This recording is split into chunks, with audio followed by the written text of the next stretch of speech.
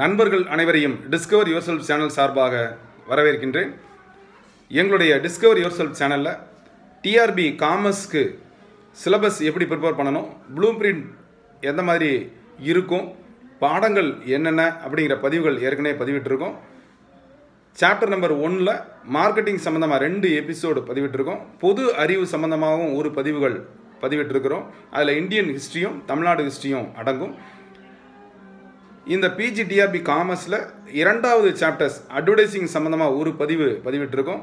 அதில் எபிசோடு ஒன்றும் நிறைவடைந்த நிலையில் இன்றைக்கி கன்சூமர் ப்ரொடெக்ஷன் சிலபஸ் எப்படி ப்ரிப்பேர் பண்ணணும் எப்படி தயார் பண்ணணும் அப்படிங்கிற பதிவு தான் இன்றைக்கி பதிவிட போகிறோம் பேனா பென்சில் எடுத்து வச்சுக்கோங்க. கீ பாயிண்ட்ஸை நோட் பண்ணி வச்சுருங்க.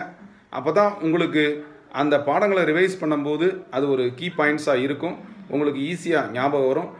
பதிவுகளை முழுமையாக ஸ்கிப் செய்யாமல் பாருங்கள் ஏற்கனவே பதிவிட்ட பதிவுகளுக்கான டிஸ்கிரிப்ஷன் கீழே லிங்க் கொடுத்துருக்கு.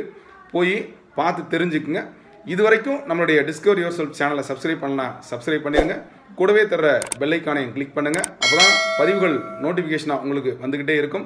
வாருங்கள் நண்பர்களே இன்னைக்கு சாப்டர் நம்பர் டூ அட்வர்டைஸிங்கில் கன்சூமர் ப்ரொடெக்ஷன் சார்ந்த பதிவுகள் எப்படி தயார் பண்ணணும் என்னென்ன முக்கியமான பதிவுகள்லாம் இருக்குது அப்படிங்கிற விஷயங்களை தான் நம்ம பார்க்க போகிறோம் வாருங்கள் பதிவுக்குள் செல்லலாம்.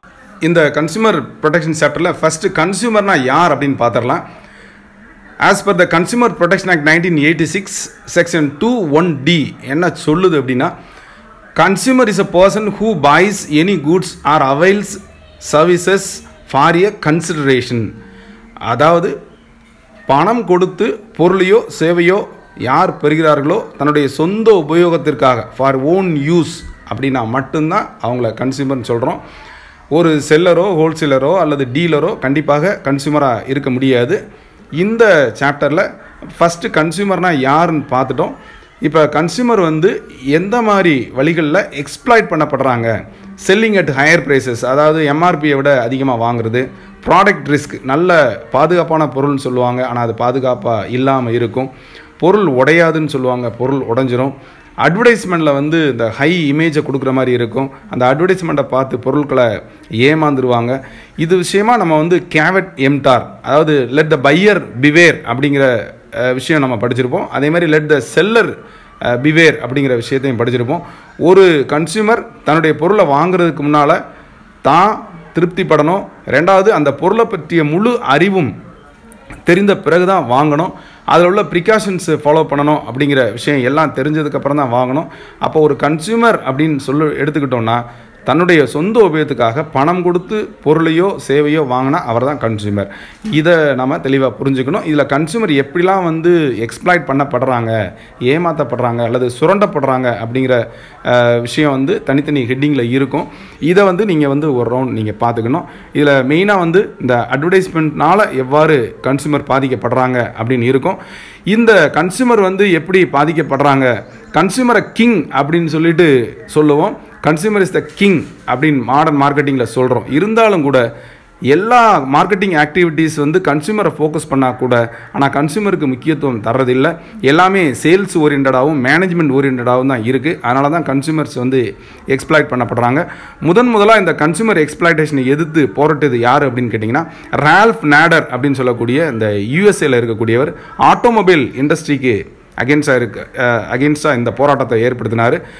த ஃபாதர் ஆஃப் கன்சியூமரிசம் அப்படின்னு சொல்லிட்டோம்னா இவர் தான் ரால்ஃப் நாடருங்க நைன்டீன் சிக்ஸ்டியில் வந்து இது தொடங்கப்பட்டது. கிட்டத்தட்ட நைன்டீன் சிக்ஸ்டியில் இந்த கன்சியூமர் வந்து சுரண்டப்படுறதை எதிர்த்து போராடினாங்க. இது அப்படியே வந்து எல்லா யூரோப்பியன் கண்ட்ரீஸ்க்கும் ஸ்ப்ரெட் ஆச்சு. இந்தியாவிலையும் செல்லர்னுடைய இந்த எக்ஸ்பிளாய்டேஷன் கன்சூமர் எப்படி பண்ணுறாங்கிறதுக்கு எதிர்த்து நைன்டீன் எயிட்டி சிக்ஸில் கன்சூமர் ப்ரொடெக்ஷன் ஆக்ட் கொண்டு வந்தாங்க. இந்த கன்சூமர் ப்ரொடெக்ஷன் ஆக்ட் வந்து கன்சூமரை வந்து ப்ரொடெக்ட் பண்ணுறது அகென்ஸ்ட் செல்லர் இதை தான் நம்ம என்ன சொல்கிறோம் அப்படின்னா கன்சூமரிசம் அப்படின்றோம். இந்த பிலிப் கோட்லர் அழகான ஒரு டெஃபினிஷன் சொல்லியிருப்பார். Consumerism is not limited to organised efforts only but as a social movement seeking to argument the rights and powers of the buyer in relation to the seller செல்லருக்கு எதிராக consumer தங்களுடைய ரைட்ஸை எப்படி establish பண்ணுறாங்களோ அதுதான் வந்து consumerism அப்படின்னு சொல்கிறோம் இந்த கன்சூமரிசம்னா consumer establish their rights against the seller செல்லருக்கு எதிராக இந்த கன்சியூமர் வந்து எவ்வாறு தங்களுடைய நிலைப்பாட்டை எடுக்கிறாங்களோ அதுதான் கன்சியூமர் தாங்கள் சுரண்டலுக்கு எதிராக போராடக்கூடிய உரிமை அப்படின்னு சொல்லிக்கலாம். கன்சியூமருக்குன்னு ரைட்ஸ் இருக்குது. அந்த ரைட்ஸ் நீங்கள் பார்த்துங்க. என்னென்ன மாதிரிலாம் ரைட்ஸ் இருக்குது பொருளை வாங்குறதுக்கு முன்னால் அது பற்றிய அறிவு. ஜான் ஆஃப் கெனடி ஒரு நான்கு விதமான ரைட்ஸ் சொல்கிறாரு சிச் ஃபார்முலா அப்படின்னு நான் சொல்லுவேன். Right to safety right to be inform right to choose and right to be heard SICH இது ஞாபகம் வச்சுக்கோங்க. இவர் தான் சொல்கிறாரு இது போக கன்சியூமர் வந்து பூவர் கன்சியூமர் அப்படின்னு சொல்கிறாரு மகாத்மா காந்திஜி. அவர் வந்து கன்சியூமருக்கு வந்து சப்போர்ட் பண்ணுற மாதிரி பேசுவார். கன்சியூமர் ரைட்ஸ் இருக்குது கன்சியூமர் ரெஸ் ரெஸ்பான்சிபிலிட்டிஸ் இருக்குது அவங்க பொருளுக்கு பணம் கொடுக்கணும்.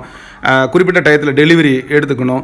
என்னென்ன இன்ஸ்ட்ரக்ஷன்லாம் அல்லது ப்ரிகாஷன் சொல்லியிருக்காங்களோ அதெல்லாம் ஃபாலோ பண்ணணும். அப்போ தான் வந்து அந்த பொருள் முழுமையான சாட்டிஸ்ஃபேக்ஷனை தரும். அப்படின்ற மாதிரி ரைட்ஸு கன்சியூமர் பார்த்துக்குங்க. அப்புறம் நம்மளுடைய அந்த consumer protection act nineteen eighty சிக்ஸை வந்து நிறைய டைம் அமெண்ட் பண்ணுறாங்க அதில் முக்கியமான அமெண்ட்மெண்ட் எடுத்துக்கிட்டிங்கன்னா கோப்ரா ஆக்ட் நைன்டீன் நைன்டி த்ரீல அதாவது consumer protection and regulation act பண்ணுறாங்க it came into existence on fifteen four nineteen ninety three பதினஞ்சு நாலு ஆயிரத்தி தொள்ளாயிரத்தி தொண்ணூற்றி மூணில் இந்த கோப்ரா ஆக்ட் வருது. இது போக இந்த consumer protection act nineteen eighty six வர்றதுக்கு முன்னாலே கன்சூமரை ப்ரொடெக்ட் பண்ணுறதுக்காக நிறைய ஆக்ட் கொடுத்துருக்காங்க. அதை வந்து இயர் வைஸாக ஞாபகம் வச்சுக்கோங்க. Say for example sale of goods act nineteen thirty drugs and control act nineteen forty dangerous drugs act nineteen forty measurement act nineteen fifty five gun monopolies and restrictive trade practice nineteen sixty nine இது மாதிரி நிறைய இருக்குது. அதே மாதிரி Agmark act ISI standard act Agmark act nineteen thirty seven Agmark act nineteen fifty two இதெல்லாம் நீங்கள் வந்து ஒரு ரிலேட்டடாக அந்த இயரை ஞாபகம் வச்சு ஒரு என்னென்ன ஆக்ட்லாம் வந்திருக்கு. இதுக்கு அப்புறமும் கன்சியூமர் எக்ஸ்பிளைட் பண்ணப்படுறாங்க அப்படிங்கிறதுக்காக தான் இந்த புது ஆக்ட் பண்ணப்பட்டது. இது என்ன சொல்லுது? கன்சியூமருக்கு ரைட்ஸ் கொடுக்குது ரெஸ்பான்சிபிலிட்டி கொடுக்குது. அவங்க வந்து அந்த கன்சியூமர் வந்து பணத்தினாலேயோ அல்லது சேவையினாலேயோ தாங்கள் பாதிக்கப்பட்டார். அதாவது deficiency of service or defects of goods இருந்ததுன்னா நேரடியாக ஒரு கிரிமினல் கேஸ் போடாமல் சாதாரணமாக கன்சியூமர் ப்ரொடெக்ட்டுக்காக மூணு லெவலில் இருக்குது நேஷனல் லெவல் கவுன்சில் அதாவது கிட்டத்தட்ட அது சுப்ரீம் கோர்ட் மாதிரி. அடுத்து வந்து ஸ்டேட் லெவல் கவுன்சில் இது வந்து ஹை கோர்ட் மாதிரி. அப்புறம் வந்து district level council district court மாதிரி இருக்குது. இந்த மூணுக்கும் பார்த்துக்கிட்டிங்கன்னா ஒரு பிரசிடென்ட் இருப்பார் அப்போ மெம்பர்ஸ் இருப்பாங்க. நேஷனல் லெவலில் அஞ்சு பேர் இருப்பாங்க பிரசிடெண்ட்டை சேர்த்து. ஸ்டேட் லெவலில் மூணு பேர் இருப்பாங்க. அடுத்து டிஸ்ட்ரிக்ட் லெவலில் வந்து மூணு பேர் இருப்பாங்க. ஒவ்வொன்றிலையும் கண்டிப்பாக வந்து ஒரு விமன் இருப்பாங்க. இவங்கெல்லாம் வந்து ஜட்ஜு தான். இந்த ஜட்ஜுக்கு ஈக்குவலாக ரிட்டையர்ட் அலசன் ஜட்ஜ் இருப்பாங்க. சுப்ரீம் கோர்ட் ஜட்ஜு வந்து அந்த நேஷனல் லெவல் கவுன்சிலுக்கு ஹைகோர்ட் ஜட்ஜ் வந்து ஸ்டேட் லெவல் கவுன்சிலுக்கு அப்புறம் டிஸ்ட்ரிக்ட் லெவலில் வந்து பார்த்திங்கன்னா டிஸ்ட்ரிக்ட் ஜட்ஜ் பெரும்பாலும் வந்து ரிட்டையர்டு ஜட்ஜ் இருப்பாங்க. அதர் மெம்பர்ஸ் வந்து sufficient knowledge in commerce accountancy மற்றும் லா சம்மந்தமாக இருப்பாங்க. ஒன்று வந்து கண்டிப்பாக வந்து ஃபீமேல் மெம்பராக இருக்கணும். இவங்க என்ன சொல்கிறாங்க அந்த கன்சியூமர் ப்ரொடெக்ஷனுக்கு அகென்ஸ்டாக வந்து எந்த கன்சியூமரும் தனியாக லாயர் வச்சுக்க வேண்டிய அவசியம் இல்லை. கோர்ட் ஃபீஸ் ஸ்டாம்ப்பு தேவையில்லை. சாதாரணமாக இந்த கம்ப்ளைண்ட்டை வந்து எழுதி செல்லருக்கு எதிராக. ஒன்று வந்து டிஃபெக்ட் ஆஃப் குட்ஸ் இருக்கணும் அல்லதுனா டிஃபிஷியன்சி ஆஃப் சர்வீஸ் இருக்கணும். அந்த பொருள் வாங்கினதுனாலையோ பயன்படுத்தினாலையோ அந்த சேவை பயன்படுத்தினாலையோ தங்களுக்கு குறைபாடு ஏற்கொ ஏ- ஏற்பட்டால் நேரடியாக அவங்க வந்து கன்சியூமர் கோர்ட்டுக்கு போகலாம். அதாவது கன்சியூமர் கவுன்சிலுக்கு போகலாம். அவங்களுடைய பாதிப்பு வந்து ஒரு கோடிக்கு மேலே இருந்தால் நேரடியாக நேஷனல் லெவல் கவுன்சிலுக்கு போயிடலாம் இருபது லட்சத்துலேருந்து ஒரு லட்ச ஒரு கோடிக்குள்ளே இருந்தது அப்படின்னு சொன்னால் அவங்க வந்து நேரடியாக மாநில கவுன்சிலுக்கு போயிடலாம் இருபது லட்சத்துக்கும் குறைவாக இருந்தது அப்படின்னு சொன்னால் அவங்க வந்து நேரடியாக டிஸ்ட்ரிக்ட் லெவல் கவுன்சிலுக்கு போய் தங்களுடைய உரிமையை நிலைநாட்டலாம். செல்லருக்கு அகென்ஸ்டாக அவங்களுக்கு தேவையான ஒன்றே ஒன்று தான் எவிடன்ஸ் அவங்களுடைய எவிடன்ஸ் அப்படின்னு பார்த்துக்கிட்டோம்னா சேவை குறைபாடோ அல்லது பொருள் குறைபாடுக்கோ கண்டிப்பாக வந்து பில் வாங்கியிருப்பாங்க அல்லது இன்வாய்ஸ் வாங்கியிருப்பாங்க. இது ரெண்டு தான் ரொம்ப முக்கியமானது. இது சம்மந்தமாக நிறைய பார்த்திங்கன்னா பேப்பரில் வந்து அப்பப்போ அந்த நுகர்வோர் மையம் வழங்கிய தீர்ப்புகள் நிறைய இருக்கும். இவங்க வந்து வழிகாட்டு நெறிமுறைகள்லாம் கொடுத்துருக்காங்க. ஒவ்வொரு ஆண்டும் மார்ச் பதினஞ்சு எடுத்துக்கிட்டிங்கன்னா கன்சூமர் டே அப்படின்னு நம்ம வந்து கொண்டாடுறோம். இந்த சாப்டர் எடுத்துக்கிட்டிங்க அப்படின்னா ரொம்ப மிகவும் எளிமையாக படித்து புரிஞ்சிக்க மாதிரி உள்ள சாப்டர்ஸ் தான். அட்வர்டைஸ்மெண்ட்டுக்கு அடுத்து அதனுடைய பாதிப்பு எப்படி கன்சியூமரை வந்து தங்களுடைய ரைட்ஸ் அண்ட் ரெஸ்பான்சிபிலிட்டிஸை எஸ்டாப்ளிஷ் பண்ணுது அல்லது அவங்களுடைய எப்படி நிலைநாட்டுறாங்க அப்படிங்கிறத பற்றிய முழுமையான பாடங்கள் தான் இருக்கும்.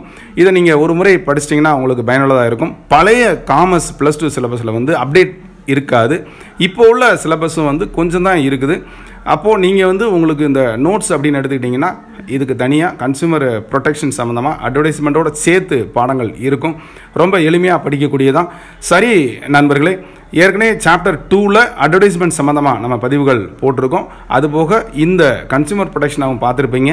ஒரு இரண்டு முறை நீங்கள் வாசித்து விட்டாலே உங்களுக்கு ஈஸியாக இருக்கும். இது சம்மந்தமாகவும் கேள்விகள் கடந்த வருடங்களில் டிஆர்பியில் கேட்டிருக்காங்க.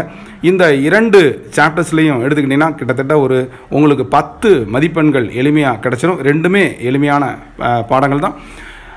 இந்த எபிசோடு நிறைவுக்கு வருது.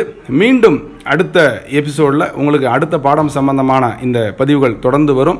எங்களுடைய சேனலை இதுவரைக்கும் சப்ஸ்கிரைப் பண்ணலாம் சப்ஸ்கிரைப் பண்ணிடுங்க கூடவே தர பெல்லைக்கானையும் கிளிக் பண்ணிடுங்க தொடர்ந்து பதிவுகளை பாருங்கள் உங்களுடைய காமர்ஸ் நண்பர்களுக்கு சொல்லுங்கள் பிற நண்பர்களுக்கும் ஷேர் செய்யுங்க.